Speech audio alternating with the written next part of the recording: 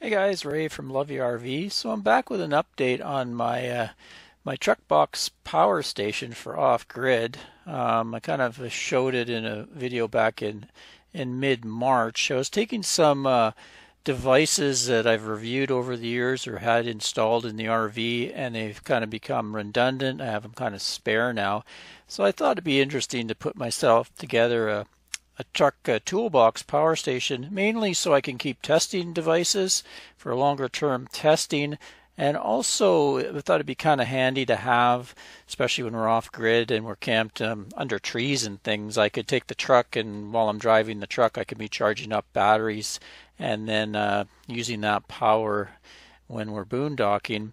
So I had a project uh, part one video where I just roughed in wiring and kind of tested it for you now I'm back. I've uh, now that we're back uh, for the summer in a stationary place. I've been kind of puttering the last week or two, setting it all up and uh, finishing it off.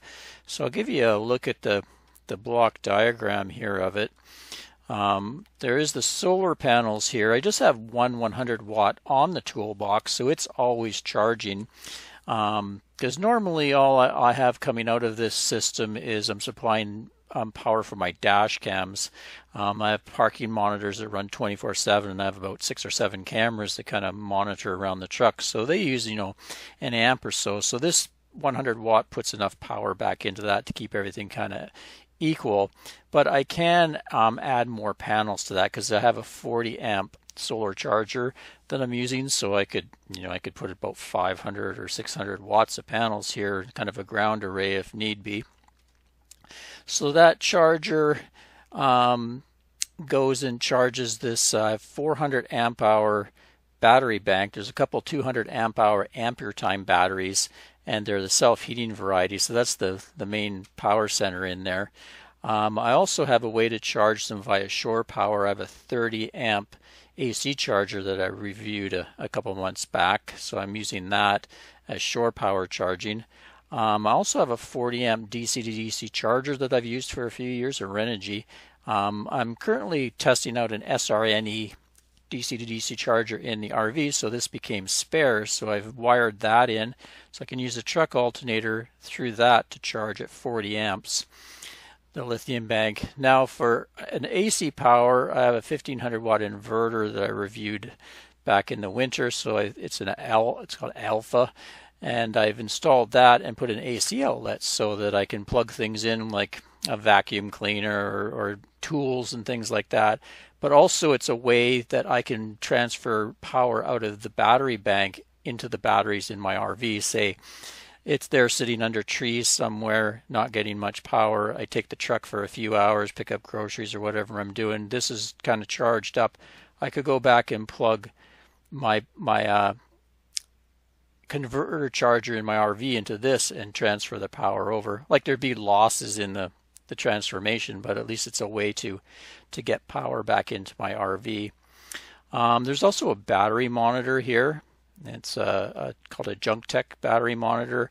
Um, it has its own display and also an app that you can use. So I can use the app without even looking at the display to see what's going on with wattage and amperage and battery capacity. So there's a little shunt that had to be installed there.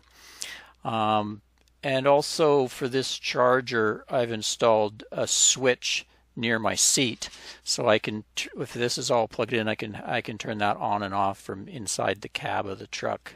And then there's also the wire that goes that powers the parking mode, so you can kind of see the block diagram, the flow. Positive power, DC power is the red, and the negative is the the black wires. So let's take you out and show you it all in real life and give you a demo of it. So here we go. It starts with a solar panel that's mounted on top of this toolbox. It's plastic toolbox I've had for a while. And there's the two batteries, both Ampere Time self-heating batteries. So if it gets too cold, it won't damage the cells. There's heating pads in there that I can apply power to and they'll warm the batteries up so that they, they can safely charge and discharge. Then I've got a BougeRV 40 amp solar controller there and that's the wire that's coming in from that solar panel on top. Um, it's just a 100 watt solar panel, but I can add to it um, with ground panels. And I've got myself a, an extra cable to hook up if I want to deploy some ground panels to increase the solar power that can come in here. Uh, the other charging option is the DC to DC charger, Renogy 40 amp. So it's just mounted on top of there. I just screwed it into the top of this battery. I know from taking this battery apart there's about at least that much free space below before you get into anything. So just popped a few uh, half inch screws in there just to keep it in place. This is just screwed to the box. And then over there we have an ALFFAA 1500 watt pure sine inverter just mounted against the box as well. And then over on the side there I have a, a plug, outdoor plug. On the other side it's got a flap that opens so I can plug in 110 devices there. Another charging option is this uh, Tornado 30,000 Topdon charger and it has a lithium 30 amp mode so um, if I want to, if the batteries are running low and I'm at an RV park or something, I can just plug this in and it'll charge the batteries. So I can do it from AC power, off the truck's alternator, or solar.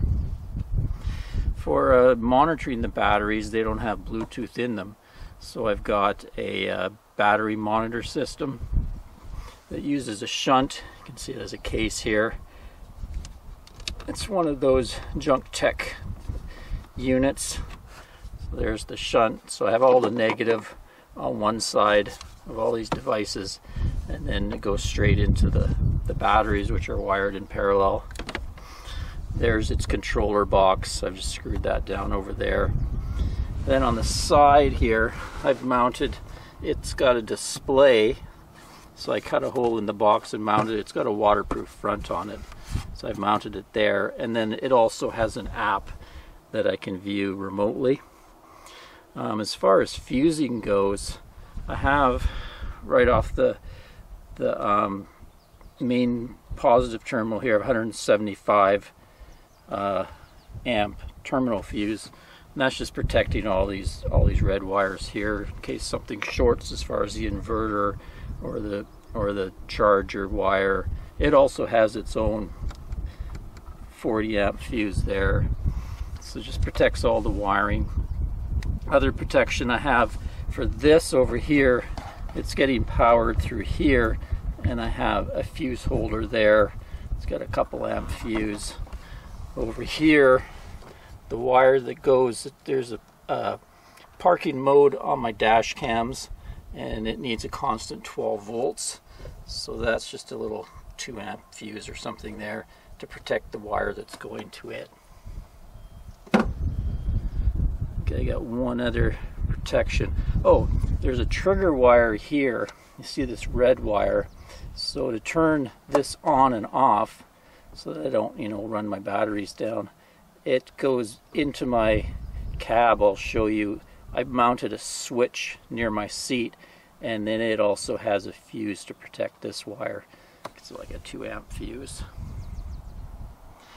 This I just have pulled out here. I'm going to put it back in and show you how it's going to be mounted in place.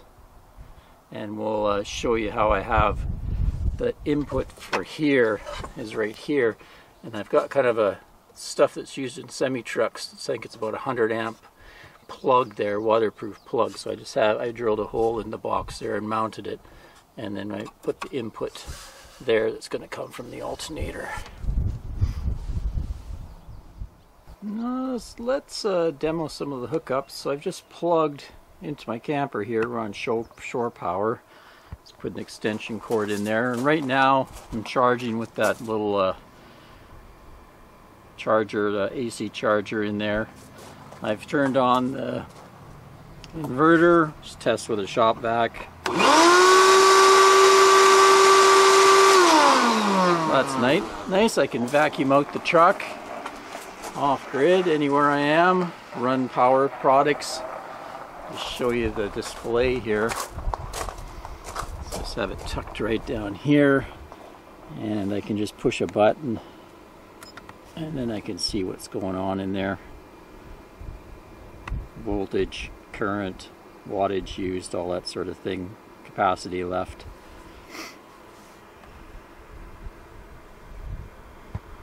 And the solar panel is putting in power through that charger. Now I'll show you my hookup for the DC to DC charger. So this port here I had installed when I had that DC to DC charger in my camper and it's got uh, you know those PowerPole connectors and it's wired to the battery. The battery has a uh, gets a 60 amp fuse on it to protect the wiring down to here. Also has a, a switch that I can switch it on and off. Anyway it gets it gets the alternator or the truck battery power back to here. And I've just made up this cable out of old jumper cables cut them added the connector here and just show you inside what I've done with that kind of trucker's connector DC connector so it just goes into there like that nice kind of weatherproof that they use on big rigs so I just have to, if I want to use that, I just have to click it into there. And I can drive the truck around and put 40 amps of juice into it. I'll just demo that. So I just installed a little switch down here. See that red light comes on. So it's connected to actually the power coming out of my lighter socket. So even if I was to forget to turn that switch on and off, when the truck turns off, this turns off within about 20 seconds, so that way I wouldn't be draining my batteries with the DC to DC charger. But kind of like to have the switch as well, so I put the switch in. So when I turn that switch on, it, the trigger wire is wound down under the RV or under the truck, and then it pops up here into the box. And we'll just check here, and you can see I'm charging 40 or 39 amps there. Cool. And when I don't want to use it, turn that switch off. A couple other things. So I mounted this piece on some wood, put some hinges there. That way it's kind of above everything else and kind of blocks all that critical connections down there, but I can also lift that up and get at things. All my wiring gets put in there. Then I have a blanket that sits in there, kind of keeps it in place. Show you on the side here, that's the connections for the AC output.